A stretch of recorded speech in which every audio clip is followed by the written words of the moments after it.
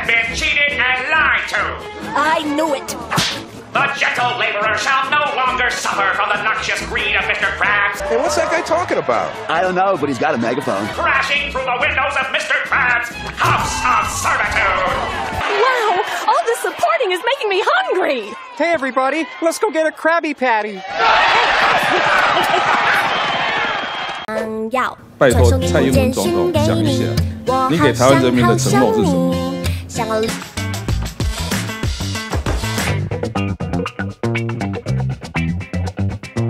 台美关系最好时刻要变天了吗？绿营曾经最崇拜的美国硬汉川普，将有可能变成台湾民主的终结者。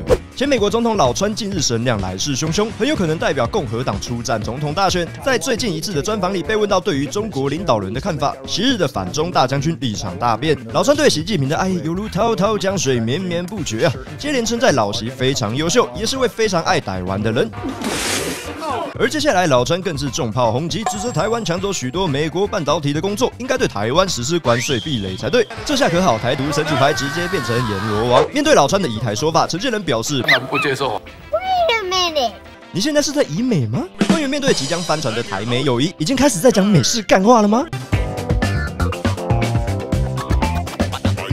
日前，台湾一位身在美国的军武网红，在靶场测试国军抗弹板的防弹程度，测试结果令台湾义务役吓尿了！咱们国军的三级抗弹板，面对五五六常规步枪弹，只能被无情击穿。那如果面对性能大致一致的共军常规步枪弹，我只能说穿比不穿还凉，我是说尸体凉了。消息传出后，引起轩然大波。面对世界军事实力第二强的国家，国军竟然只能扛着劣质抗弹板上战场，想补足防御力，请补充台湾价值。国防部后续的态度则令人心寒，坚称抗弹板的测试符合国际标准，请国人放心。不仅如此，还更宣布要扩大列装抗弹板，One Boy 防弹衣，让身体冷起来。为了挽回大众对国军的信心，国防部甚至开直播展示国军抗弹板的性能。毫不意外，测试结果国军抗弹板扛下六花庆忌啊！但是直播过程及测试条件不透明，我信你个鬼！甚至现场更有记者徒手把抗弹板掰弯，这啥？我只见过记忆枕头，没见过记忆抗弹板呢。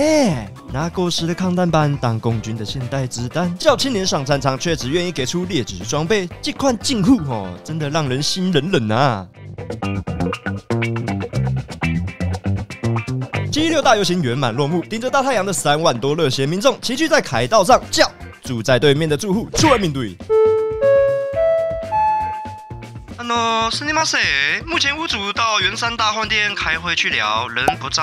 比起人民的声音，饭店内冷冽的寒风更是棘手。穿上外套，爽喊，冷气还行。呃呵，在外面晒太阳的你们要自立自强啊！尽管游行诉求直指当前台湾面临的重大问题，但侧翼一条龙，搞臭游行还是有一手。有国外记者直言，七六游行性别比悬殊，实在怪哉。侧一更是暴力贴标签，这场游行的支持者怎么都是些油腻龅牙，根本就是场满汉游行嘛！顺便痛骂可批，过往多次歧视女性言论不被女性支持实属正常，但事后该名国外记者被发现根本就是小英之友，随后本人将文章删除。溜之大吉，酸。网友也痛批，君不见现场有多少女性到场声援，在性别比例上大做文章，刻意模糊焦点。性骚扰第一大档有什么资格讲别人性别歧视呢？而坐镇圆山大饭店的赖神更表示不以人废言。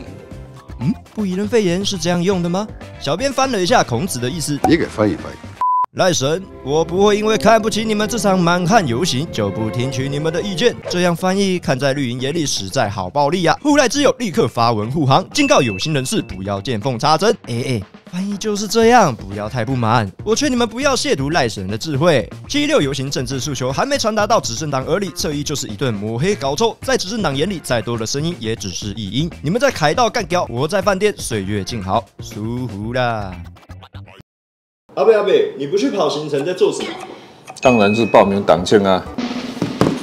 民众党四岁的加你一位，让 KP 更完整，赶快加蛋报名。八月六日下午两点半，台中国际展览馆，好事发生，改变成真，好看，可以，一次成功。一次成功。